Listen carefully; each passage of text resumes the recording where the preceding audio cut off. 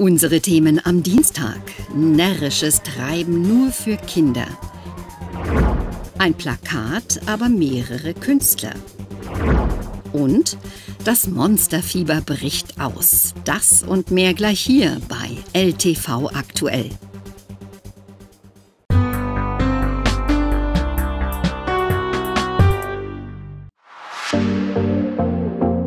Sortimentswechsel im Möbelzentrum Großräschen. Die letzte Chance bis zum verkaufsoffenen Sonntag am 1. März. Ausstellungsstücke sind bis zu 73% radikal reduziert. So günstig gab es Markenmöbel noch nie. Auf Möbelneubestellungen gibt es außerdem bis zu 30% Rabatt. Und auf neue Küchen sogar 50% Aktionsrabatt. Und auf Wunsch natürlich unsere 0% Finanzierung. Möbelzentrum Großräschen. Das größte Möbelzentrum in der Lausitz. Direkt an der B96. Vom 28. Februar bis zum 1. März gibt es Spaß für die Kleinen beim Kinderschminken, der Miele Kochshow am Samstag sowie Bockwurst oder Kaffee und Kuchen für nur einen Euro.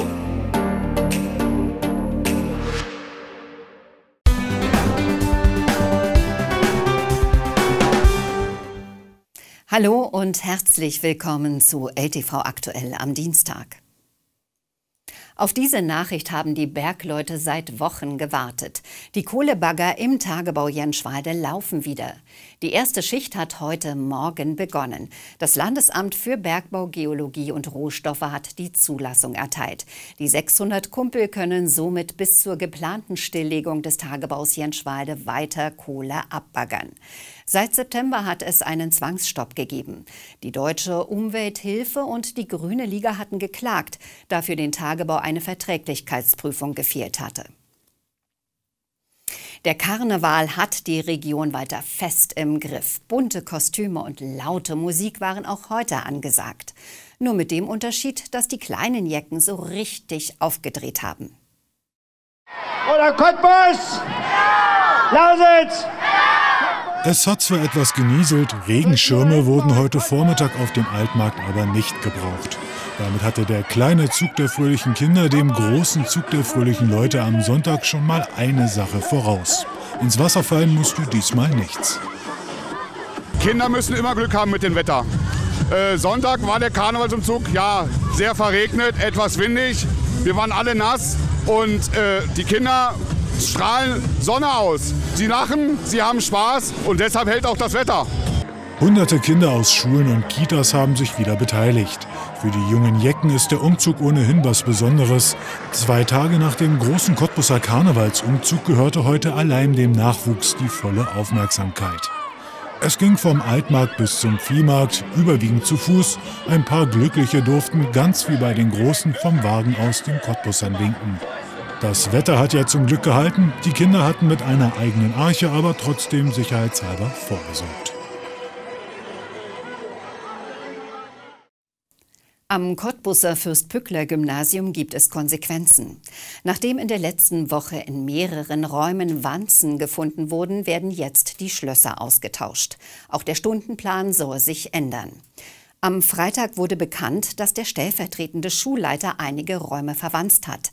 Dem Hausmeister ist das zufällig bei Reparaturen aufgefallen. Weitere Nachrichten folgen im Überblick. Den Anfang macht eine Meldung aus dem Cottbusser Rathaus. Projekt zur Inklusion. Das zweite Interreg-Projekt startet am 26.02. mit den ersten Aktivitäten in Cottbus. Es findet im Rahmen der Städtepartnerschaft mit Gilona Goda statt.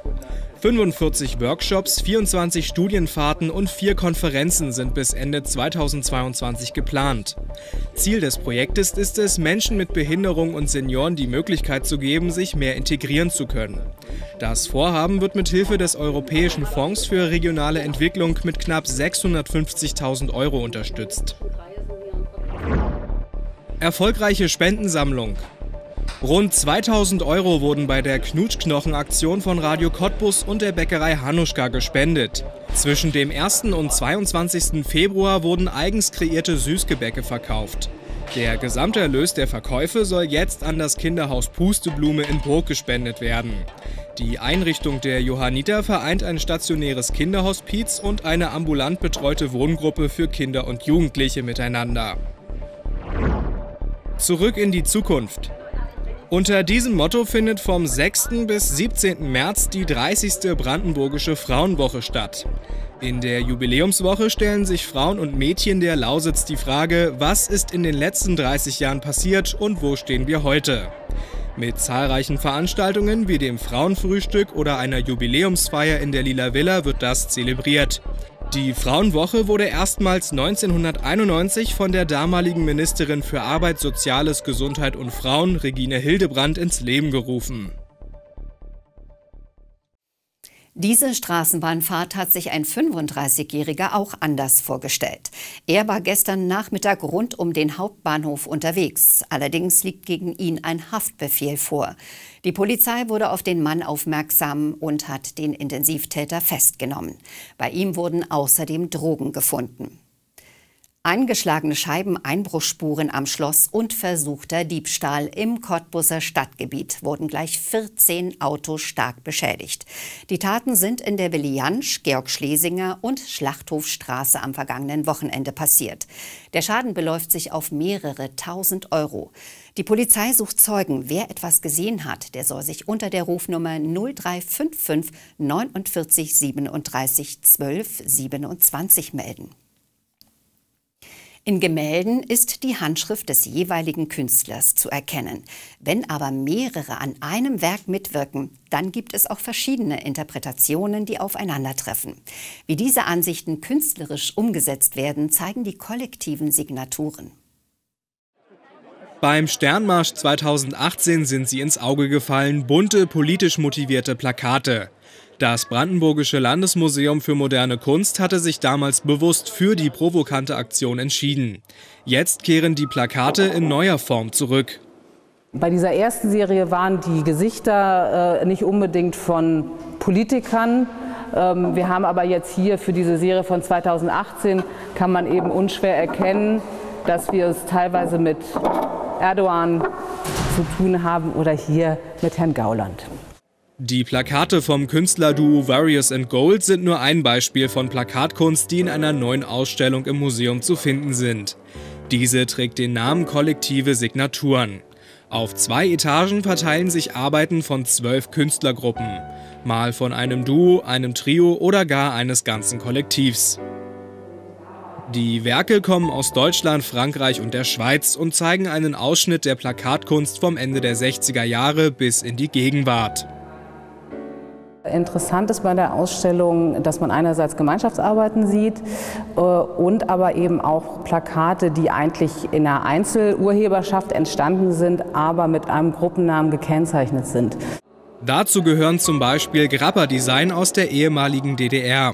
Die Gruppe orientierte sich bei ihrem Namen an einem der bekanntesten Grafikkollektiven aus Frankreich, Grappus. Die in den 70ern von drei Franzosen gegründete Gruppe prägte viele Kollektive in ganz Europa. Bis Anfang der 90er publizierten sie Grafiken. Auf einer ihrer letzten Arbeiten sticht ein weltbekanntes Augenpaar heraus. In diesem Plakat, neben diesen ganzen kleinen äh, Briefmarkenähnlichen Plakaten, die hier so geschrumpft sind, haben wir eben auch wunderbar hier einmal den Ausschnitt der Mona Lisa, die einen fixiert.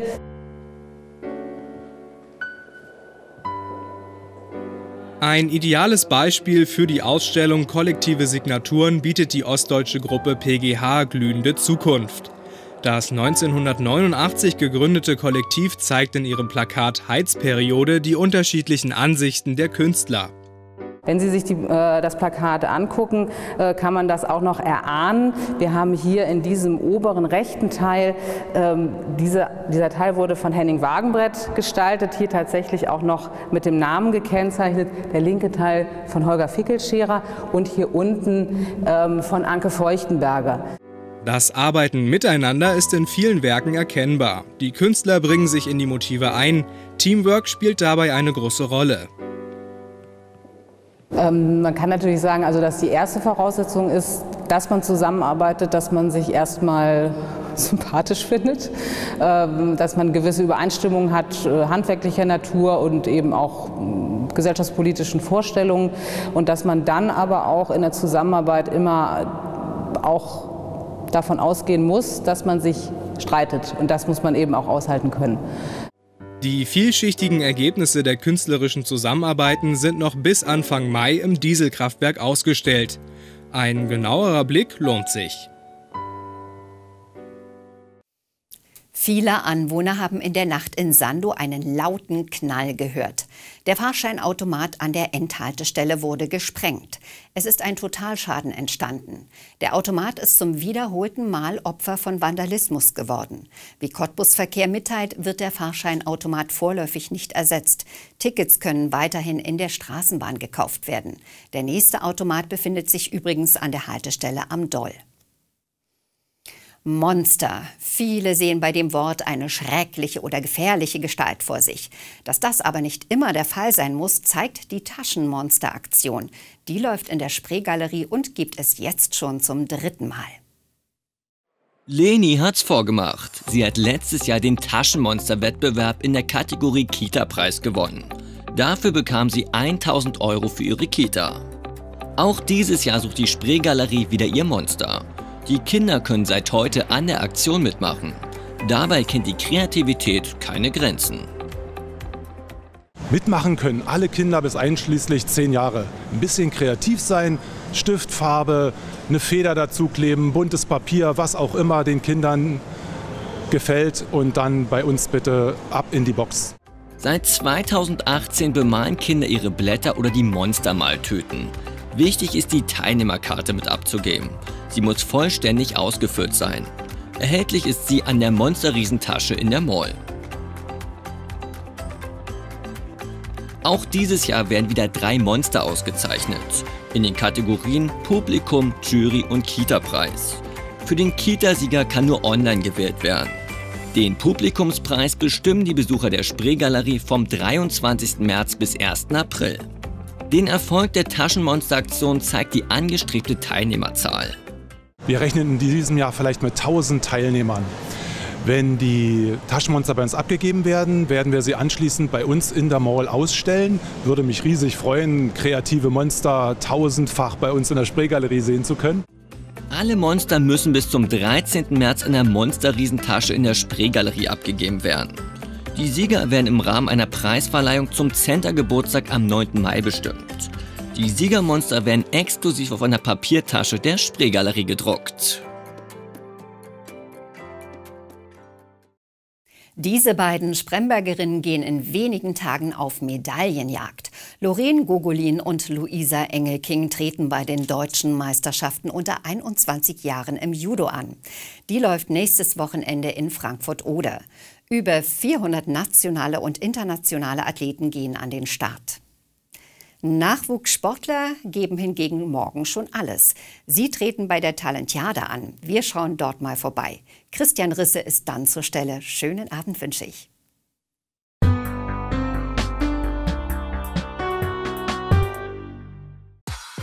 Jetzt neben dem Beruf beim Studium durchstarten. Präzise auf deine Bedürfnisse und Möglichkeiten abgestimmt. Mit dem Studiengang Public Administration der VWA.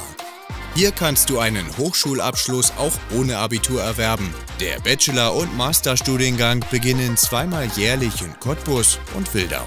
Also verlier keine Zeit und steigere deinen Berufserfolg mit dem Studiengang Public Administration der VWA.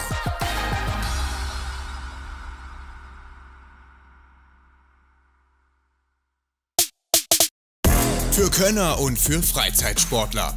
Ostsee Sportspiele 2020.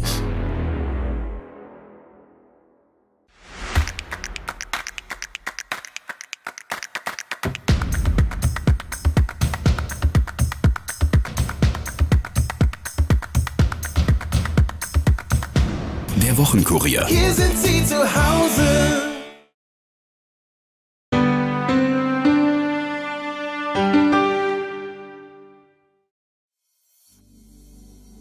In der Nacht bleibt es anfangs trocken, später fängt es aber wieder an zu regnen. Die Tiefstwerte liegen bei 4 Grad.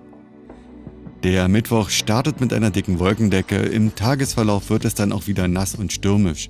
Das Thermometer steigt auf 5 Grad an. Am Donnerstag wird es wettertechnisch nur etwas freundlicher, immerhin bleibt es den ganzen Tag über trocken. Die Sonne zeigt sich gelegentlich, ansonsten bleibt der Himmel meistens zugezogen. Die Höchstwerte liegen bei 6 Grad.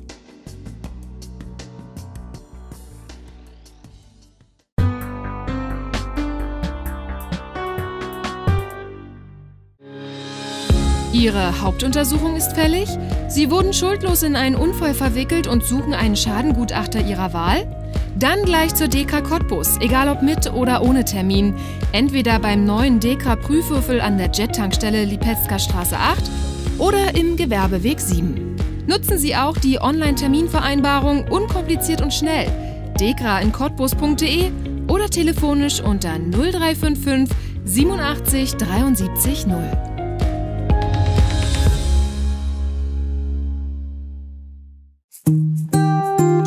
Käse ist gesund.